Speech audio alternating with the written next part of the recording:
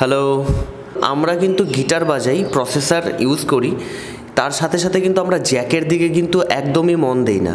রাস্তার থেকে যে কোনো বিগিনার্সদের জন্য আমি বেশি করে বলছি, কারণ যারা বড় বড় গিটারিস্ট বা আমি বড় বড় গিটারিস্ট না বললেও যারা খুব বড় বড় শো করে স্টেজে বাজায়, তারা সবসময় দামি ইকুইপমেন্ট ভালো গিটার কেবলগুলো কিন্তু ইউজ করে। সব থেকে জরুরি আমাদের কাছে গিটার কেবল কারণ এই গিটার কেবলের থ্রুতেই কিন্তু আমাদের সাউন্ডটা প্রসেসার হয়ে দেন আমার গিটার কেবলের থ্রুতেই মানে আমাদের ইনস্ট্রুমেন্টাল কেবলের থ্রুতেই কিন্তু আমাদের সাউন্ড বক্সে কিন্তু পৌঁছচ্ছে।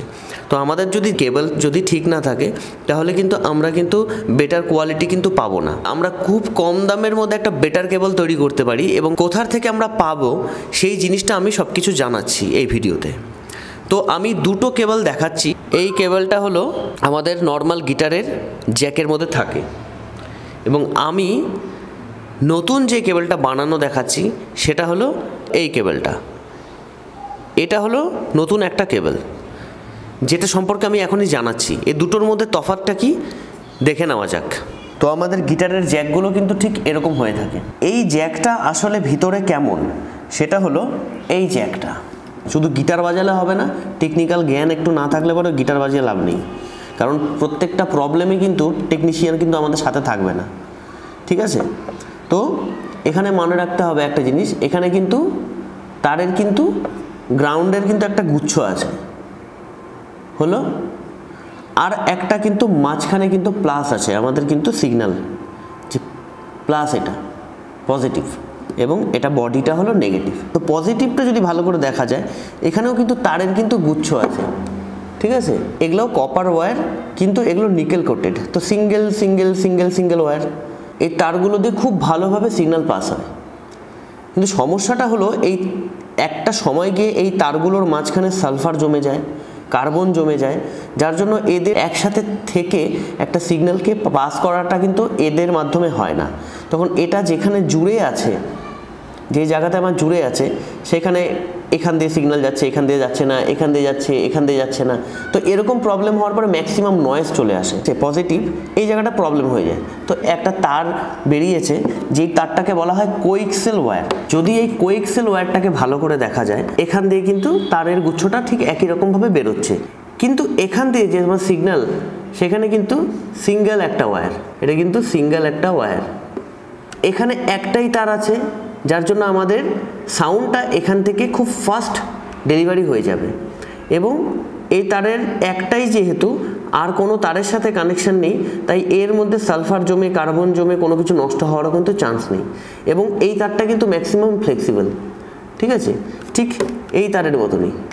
এই তারটাও যতটা ফ্লেক্সিবল এই তারটাও ফ্লেক্সিবল ঠিক এই জিনিসটা দিয়ে আমি আমার গিটারের যত কেবল আছে জ্যাকগুলো আছে, সেগুলোকে কিন্তু আমরা কনভার্ট করে নেব এবং তোমরাও চাইলে এই জ্যাকটা ইউজ করতে পারো। তো এই কেবলটা আমরা পাবো কোথায়?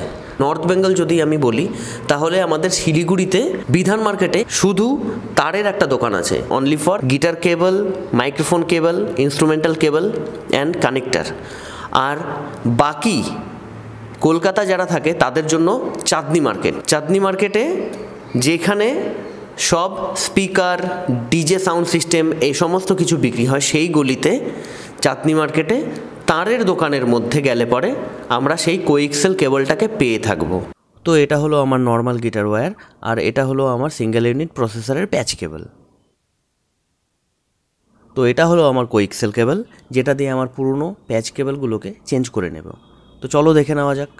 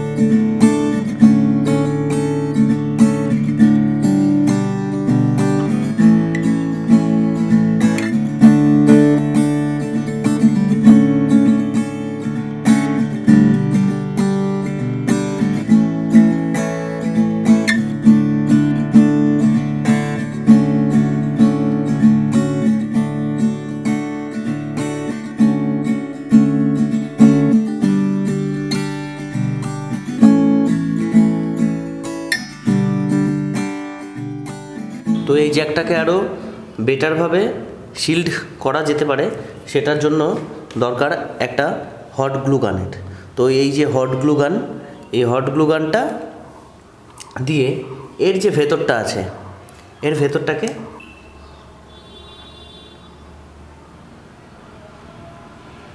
দেন প্লাস্টিক যে শিল্ডটা আছে তো এটা পুরো শিল্ড হয়ে গেল। স্প্রিংটা ঢুকিয়ে দিলাম। দেন আউটার কেসটা যেটা আছে।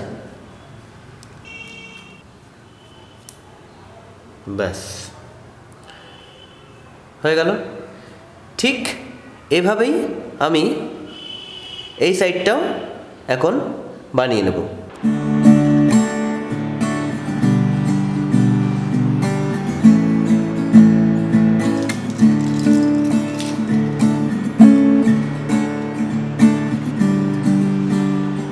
বোঝা গেল নয়েস ফ্রি কেবল বানানোর ব্যাপারটা। টেকনিক্যাল জ্ঞানটা কিন্তু সব থেকে বেশি জরুরি আমাদের গিটারের ক্ষেত্রে গিটার বাজানোর ক্ষেত্রে। কারণ আমাদের গিটারের সাথে থাকে ইলেকট্রনিক যন্ত্রপাতি। গিটারের মধ্যে পিক লাগানো থাকে জ্যাক থাকে, ছোট ছোট স্ক্রু থাকে।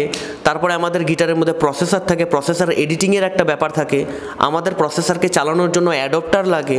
আমাদের অ্যাডপ্টার কেটে গেলে আমরা অ্যাডপ্টার যদি না পাই, তাহলে আমরা কেমনভাবে ইউজ করলে আমার প্রসেসর যে কোনো অ্যাডপ্টার দিয়েও চলতে পারে, সেগুলোও আমি পরবর্তীকালে দেখাবো। তার লাগাতে না পারার মতন এরকম প্রচুর বড় বড় গিটারিস্টও আমার দেখা আছে, যে প্রচুর দারুণ বাজায় কিন্তু তার লাগাতে পারে না। তার লাগানোর জন্য প্রত্যেকটা ব্যাপারে ব্যাপারে দোকানে চলে যায়। ঠিক আছে? সেই সমস্ত জিনিসগুলো মাথার মধ্যে রাখতে লাগবে। আমি এরকম অনেক গিটারিস্টকে দেখেছি, অসাধারণ প্লেয়ার দারুণ বাজায়, কিন্তু তার লাগানোর জন্য গিটারের দোকানে চলে যাচ্ছে। তারপরে একটা প্রবলেম ফেস করছে, সেটা হলো যে আমার টিউনটা বারবার পড়ে যাচ্ছে। কেন পড়ে যাচ্ছে জানি না। আমার টিউনটা কিন্তু বারবার পড়ে যাচ্ছে।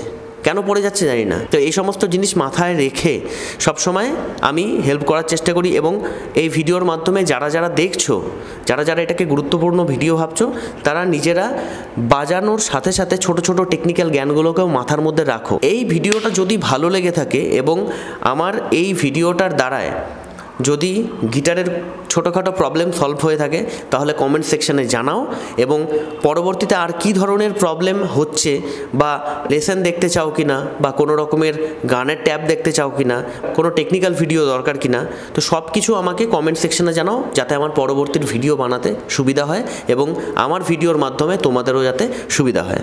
তো দেখা হচ্ছে নেক্সট ভিডিওতে অনেক রকমের গান বাজনা কন্টেন্ট বিভিন্ন রকমের টেকনিক্যাল এই সমস্ত সমস্যাগুলোকে নিয়ে।